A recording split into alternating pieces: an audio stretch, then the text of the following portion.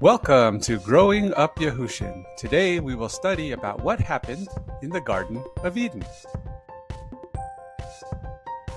In the Garden of Eden, the serpent told the woman that eating the fruit of the tree of good and evil will make her smart like Yahuah. Remember though, Yahuah told them not to eat from that tree. Did the woman listen to Yahuah? Or did she listen to the serpent? In other words, did she eat from the tree? The woman saw the tree that was good for food, and that it was a delight to the eyes, and that the tree was to be desired to make one wise. She took of its fruit and ate, and she also gave some to her husband, who was with her, and he ate. The woman listened to the serpent and ate the fruit of the tree.